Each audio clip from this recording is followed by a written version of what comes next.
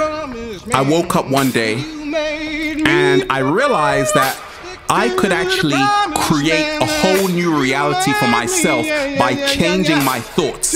Once you change your thoughts, you can change your world and anything will become possible.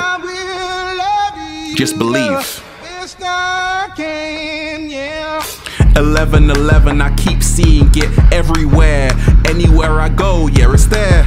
Law of attraction, I keep manifesting. Golden age time, everyone gets the blessings. Higher minds, time for evolution. The world's got problems, well, we've got solutions. Eat better, live better, do better, love better, be a trendsetter.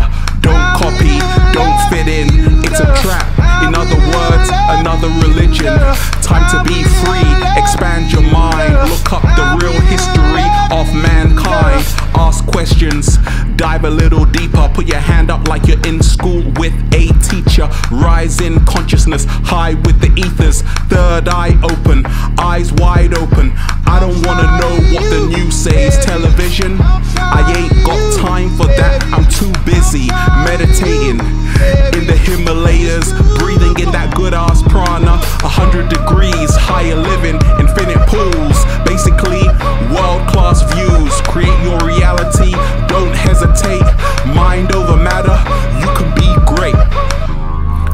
I am.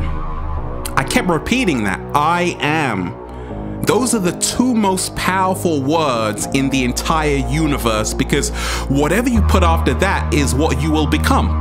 So I kept repeating, I am infinite. I can do anything. I am rich. I am health. And it actually became a reality. Woo! We are breathing in that good ass prana, deep divers. Look, anything you want today, you can do it, you can get it, you can have it. You just gotta put in the work and believe. It's all up to you. You gotta take responsibility for where you find yourself. But if you want it, you can get it. If you do it, you can have it. I love life.